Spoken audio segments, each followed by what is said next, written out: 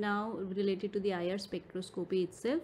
Uh, what does it says? Let's see. It says that HCl has a force constant of 480 Newton per meter. So we have an HCl molecule which actually has a uh, for which the force constant is given to us. Okay. Now the force constant is given to us. We have to calculate the fundamental frequency and its wave number. So let's see how we proceed further for this particular problem. So uh, fundamental frequency is required and its wave number is also required no problem. But the force constant is given to us. So let's proceed with the what is given for us. So we have mu is equal to we know that it is equal to m1 times m2 upon m1 plus m2 the two masses which are given to us and what are those two masses? Those of that of hydrogen and chlorine. Okay. So uh, let's see what it is so m1 and m2 i take as hydrogen and chlorine respectively. So it will be hydrogen is 1 it's it's given in the formula. Hcl it's given in the superscript. So 1 into 35 m2 is 35 divided by m1 plus m2 that means 1 plus 35 okay? So this much is given to us. Okay but yes of course it is uh, the masses are in atomic mass unit. So i need to convert it into the grams or kilograms. Okay i am doing it in kilograms because here newton per meter is given as a force constant. So it will be apt for me to use the kilogram part over here. So this is 10 raised to the power minus 3 because I have converted it into kilograms and I divided by 6.023 times 10 raised to the power 23 okay. So uh, what do I get? Here what have I done? I have divided it by the Avogadro number and the answer for me which was coming it was in grams.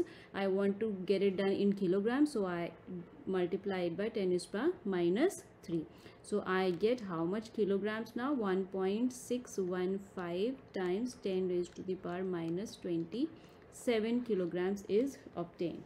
Now I have got the reduced mass. Okay reduced mass. So what do i have now? I have the value for reduced mass. I have the value for k. Now the fundamental frequency a wave number is required. So now it's it's easier for me to do the calculations. Okay. So mu is equal to 1 over 2 pi times k over mu. Okay. So this frequency it is equal to 1 over 2 into pi i take it as 3.14 okay? And you can use 3.142 also.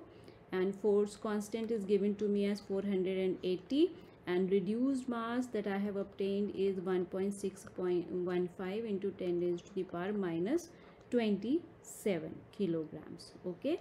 So what do i get after calculations? I get this uh, gets solved to 8.676 times 10 raised to the power of 13 hertz.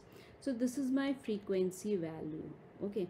Now i need to get the wave number also. So i it requires both frequency and wave number which is equal to okay uh, which is equal to if i take it as nu naught okay.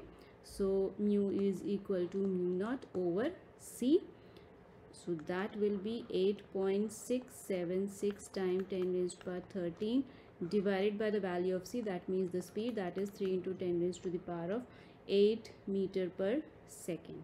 So when i solve this i get 2.894 times 10 raised to the power 5 per meter. I need to convert it into centimeter inverse. So it will be very simple. It will be 2894 centimeter inverse this is the wave number okay? This was the frequency and this is the wave number. We represent the wave number as nu bar also. So you can write nu bar also it's one and the same thing